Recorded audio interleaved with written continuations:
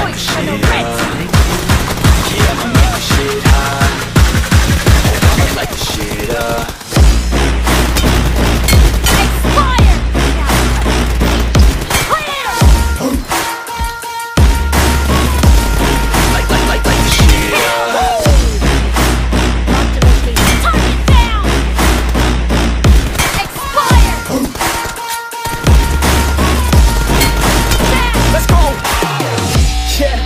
I got this, I'm on it.